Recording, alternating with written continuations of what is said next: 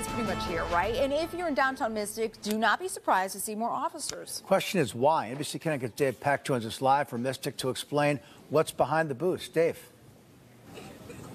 Hey guys, yeah, Groton Police will be increasing patrols here in downtown Mystic beginning after Memorial Day throughout the summer months. It's really a result of the area's growing popularity as a tourist destination.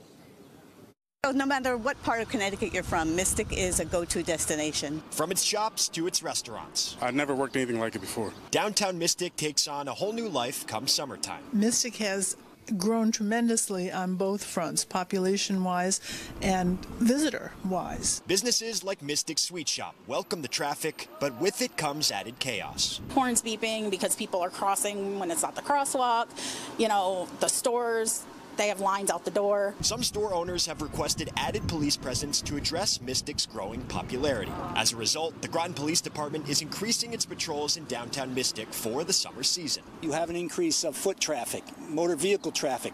Parking is always an issue down in Mystic. Groton police said they'll also be closely monitoring underage drinking, over-serving, and drunk driving in the area. You might go into that bar thinking, yep, I'm going to be smart, I'm going to get a cab or something but your judgment's impaired. You're going to get behind the wheel and a lot of times you're probably going to meet up with us somewhere. It makes good sense, and I think parents would be would want that type of security for their kids as well as for the residents here.